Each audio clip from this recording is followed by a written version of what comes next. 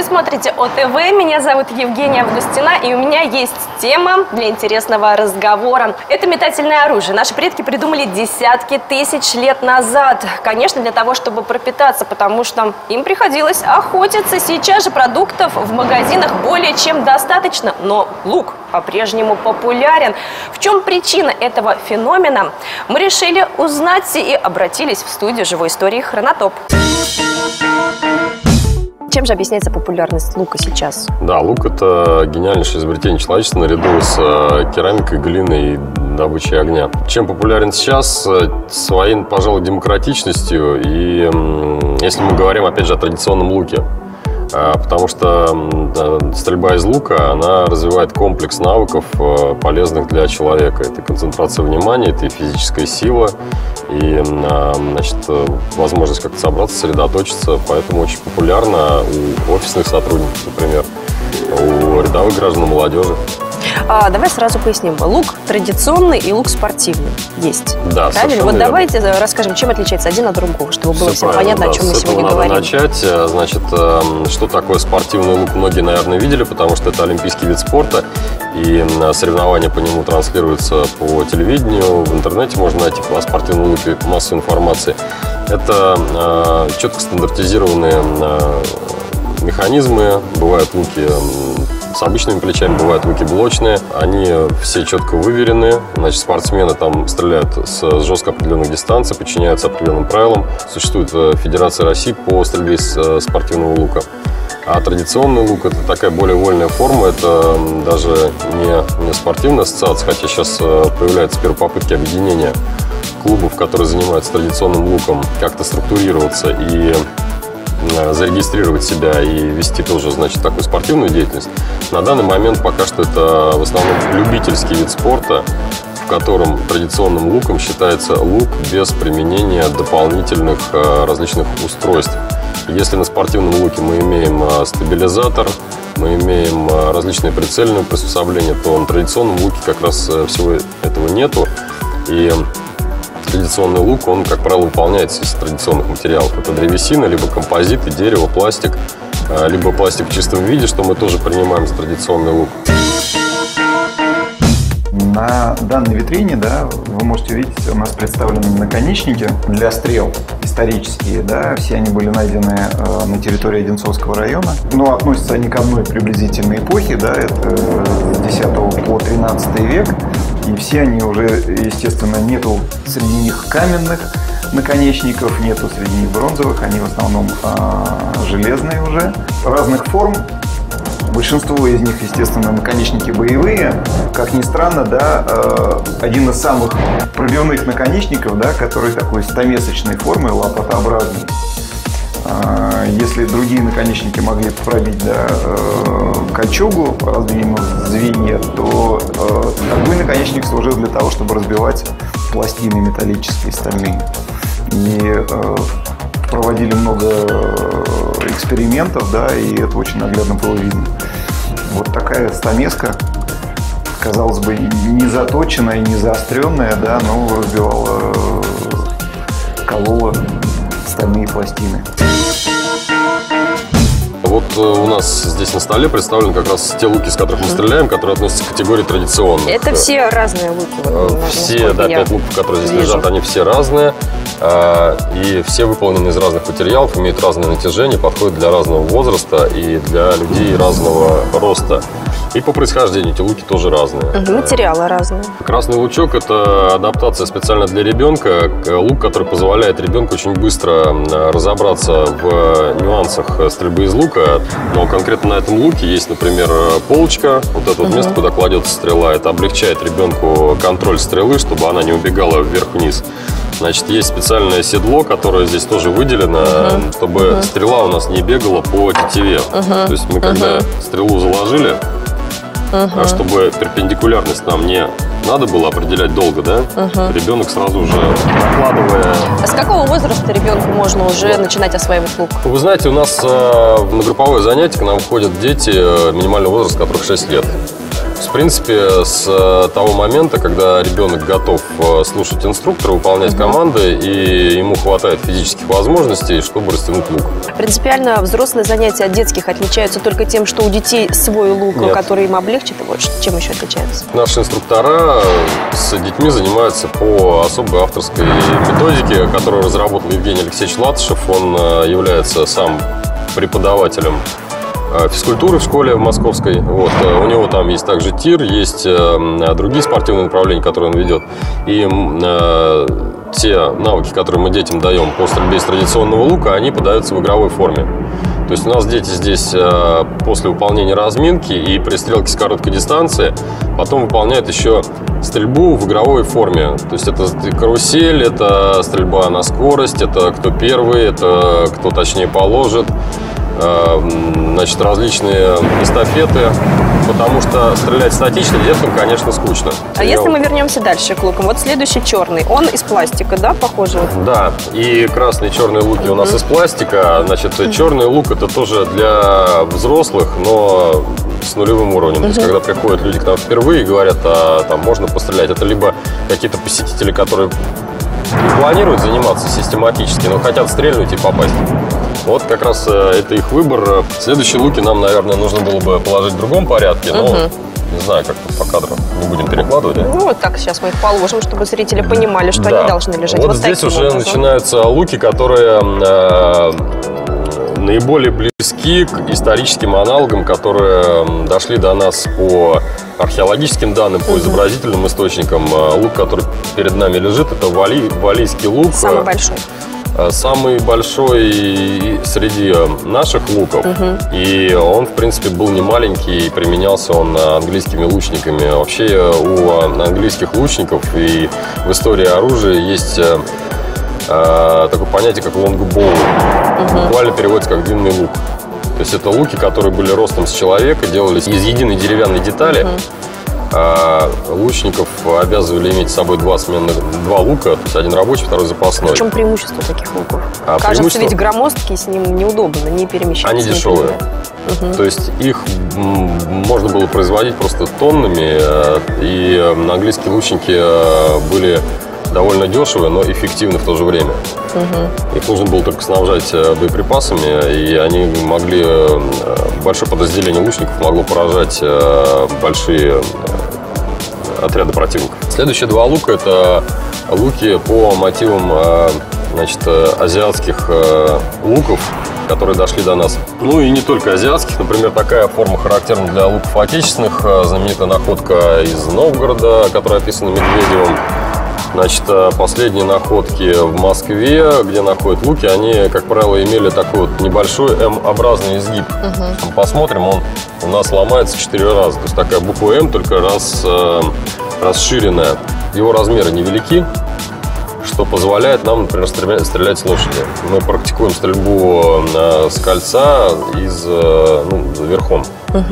Вот, это интересно как практика для себя, да, физическая такая, довольно сложно сделать. Так и э, по необходимости э, в какой-то момент нас приглашали просто на съемки, и нам нужно было отрабатывать момент, где мы, подобно степным кочевникам, на ходу разворачиваемся и стреляем назад. Вот, тогда впервые попробовали, начали заниматься, ну, И прям втянулись. захватило, да. А, Следующий лук, э, лук кочевнический, его особенность заключается в том, что он рекурсивный. Этот непонятный термин значит, что если мы снимем тетиву с него, то он выгнется в противоположную сторону. А в руках у меня традиционный лук. Это э, корейский традиционный лук. Э, он, как вы видите, рекурсивный, да? Сейчас он выгнут таким образом. После того, как я его натяну, натяну на него тетиву, ну, собственно говоря, все увидите сами. Натягивается тетива на лук таким образом.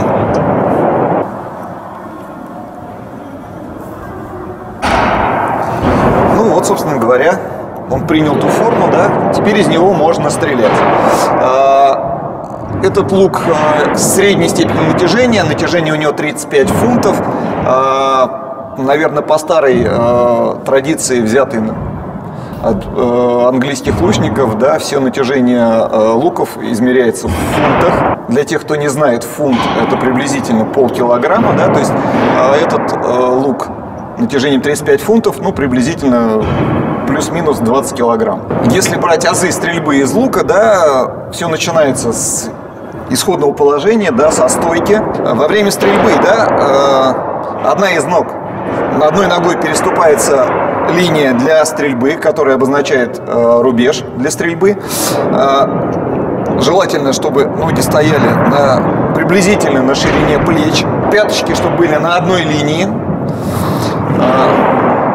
Ну, естественно, желательно, чтобы да, позвоночник был выпрямлен, да, все мы хотим, чтобы у нас была красивая осанка. Если правильно заниматься стрельбой из лука, да, этого можно добиться, по крайней мере, контроля за своей осанкой. Как правило, если вы э, правша, то лук мы держим в вытянутой левой руке, а натягиваем тетиву правой рукой, потому что она у нас сильнее. Если вы левша, соответственно, то же самое, но в зеркальном отражении, да, можно сделать то же самое в другую сторону.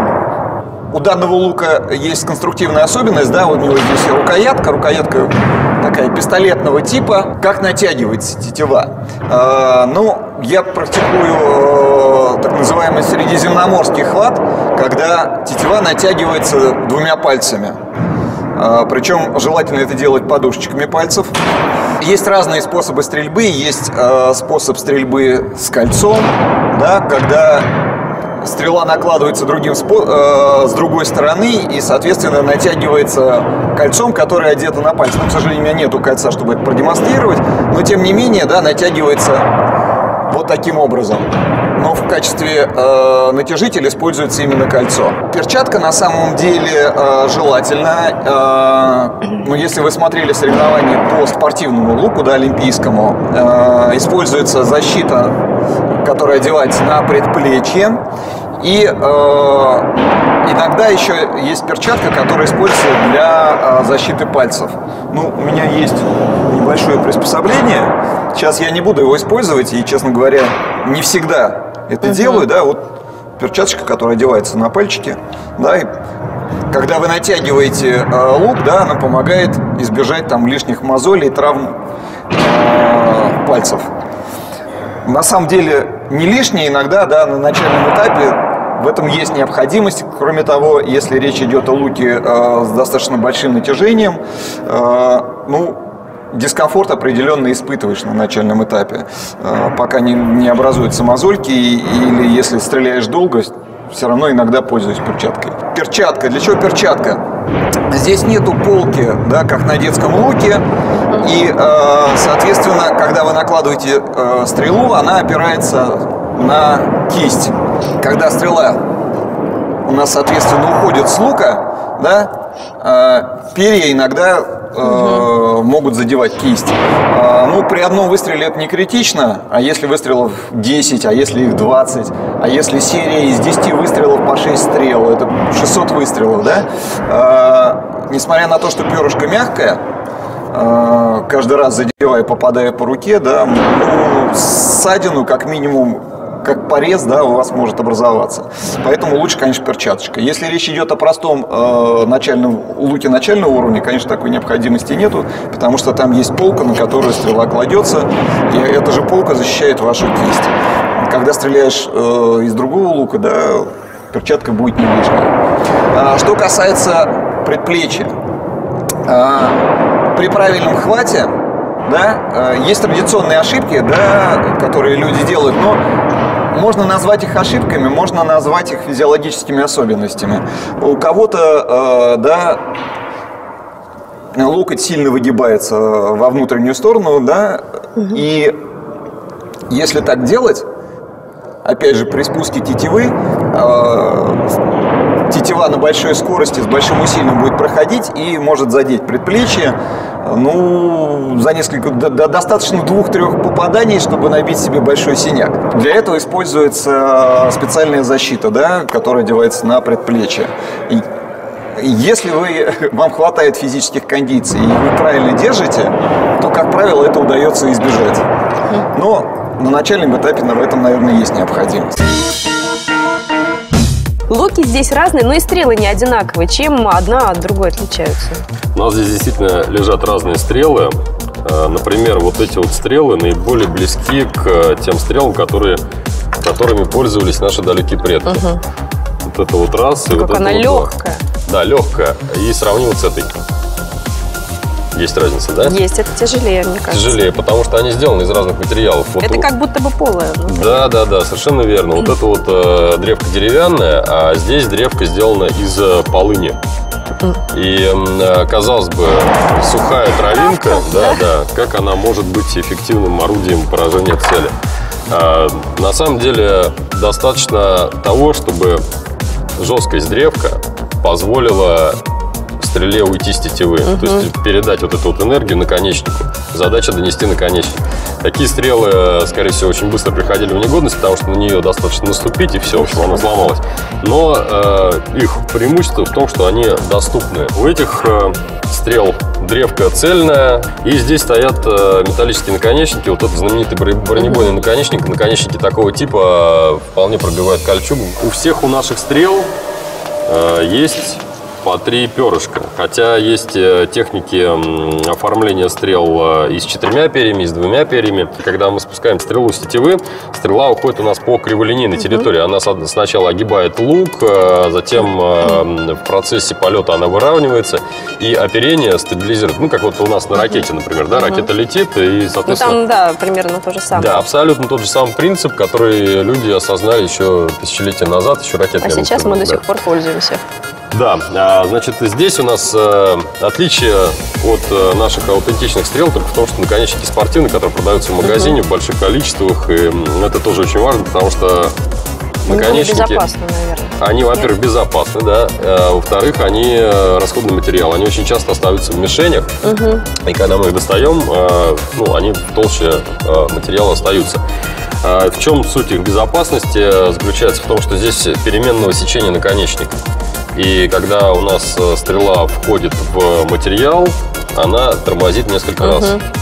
Первый раз э, соприкасаясь с самим острием, потом у нас коническое расширение, и потом еще раз расширение уже на диаметр, равный диаметру стрелы.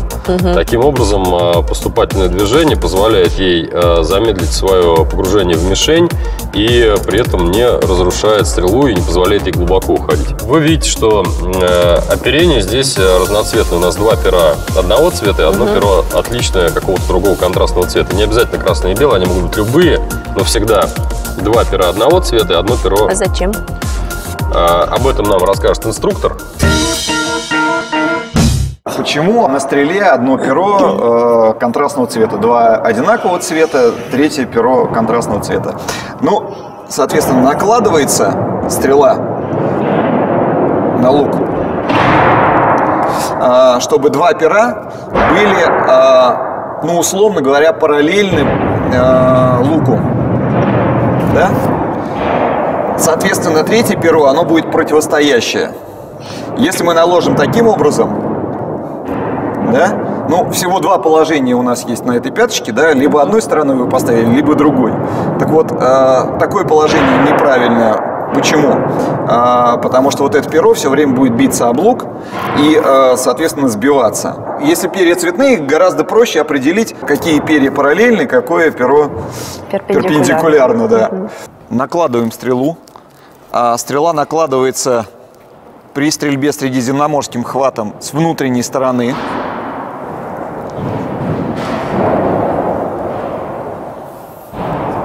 Натягиваем.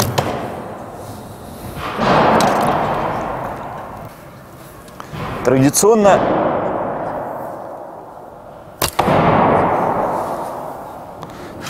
стреляют сериями из шести стрел.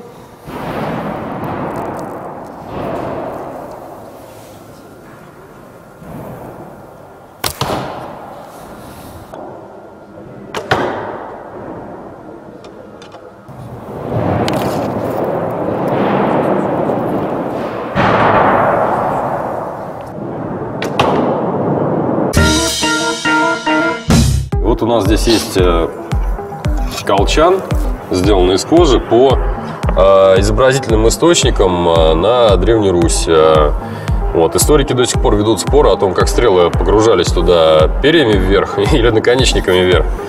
Потому что Ну, по идее, наверное, чтобы быстро можно было достать, соответственно... Ну, есть варианты и так, и, и так. И есть, например, там скифские погребения, где стрелы в одну сторону лежат, есть изоисточники, где э, мы видим там святых э, воинов, у которых открыт э, колчан и там наконечники вверх. Наши предки сами не могли определиться, как правильно. Я думаю, что это связано либо с хранением, либо с боевым положением. Угу. И, в общем, могло использоваться э, стрелы могли быть э, заряжены и таким образом, угу. и таким образом, в зависимости от ситуации. Я не могу не спросить про технику безопасности.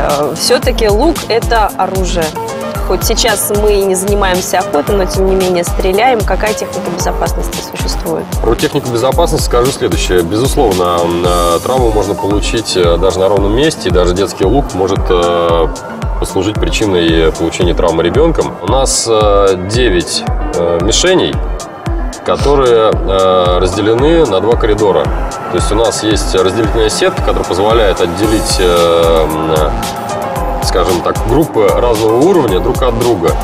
А более того, как э, в большинстве тиров, ну, собственно, опыт не наш, да, не, не мы его изобрели, а это нормальная спортивная практика, когда сигналы к подходу на рубеж, к осуществлению выстрелов, к подходу к мишеням, чтобы достать снаряды, осуществляется либо световыми, либо звуковыми сигналами. Мы световыми не стали оборудовать, но у нас, э, значит, э, либо звуковой сигнал подается там свистками, да, либо голосовая команда. Всегда присутствие инструктора. То есть инструктор на площадке контролирует э, работу нашей группы от начала до конца. Ну, есть, наверное, какие-то элементарные правила, там, не бить соседа луком по голове, не целиться в первую очередь же. выполнять команды инструктора, слушать, что тебе говорят. Ну и во вторую очередь, да, там есть знаменитые ошибки, конечно, которые ну, болячки новичков такие. Когда человек э, со, со снаряженным луком, его там кто-нибудь мама зовет, там Вась, да, он вместе с луком разворачивается. Да. Вот, но э, все это, в общем, лечится. 11 марта мы ездили в Коломну на соревнования по стрельбе с традиционного лука. То есть это был не фестиваль, а именно соревнования узкопрофильные. Выступили ну, для первого раза неплохо, хотя результаты, конечно, могли быть и лучше. Но там серьезное было соперничество. Но что интересно, значит, э, во-первых, мы выполнили свои плановые нормативы, да, потому что у нас э, по нашему внутреннему распорядку э, инструктора и э, действующие, и запасные, кто только учится на инструкторов, они обязаны раз в квартал ездить э, на соревнования, чтобы подтверждать собственную квалификацию, не терять уровень, а наоборот только расти. Более того, мы пообщались э, с значит, организаторами состязаний, это Коломенский клуб «Цветогор», они сейчас интегрированы в структуру администрации города, они зарегистрированы как муниципальное бюджетное учреждение. И они ведут свои занятия, э, выполняя муниципальные задания. К чему, собственно, и мы стремимся. Среди организаторов этих состязаний были представители областной федерации по стрельбе из арбалета. Это спортивное направление, которое тоже мы планируем себя открывать и развивать. Э, надеюсь, при поддержке нашей администрации. Сейчас предварительное, так сказать, одобрение нашей деятельности получено. Детали будем прорабатывать. Оказывается, арбалетный спорт, он очень близок к пневматическому спорту. Там похожие дистанции, похожие мишени, а, судейство.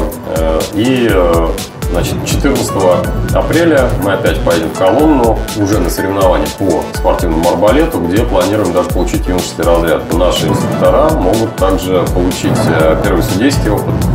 А, мы будем обслуживать э, соревнования, которые будут проводиться по арбалету, и потом сами еще принимать участие для того, чтобы сдать на разряд. Планируем это направление развивать в нашей студии. Э, надеемся на то, что оно принесет нам большие перспективы.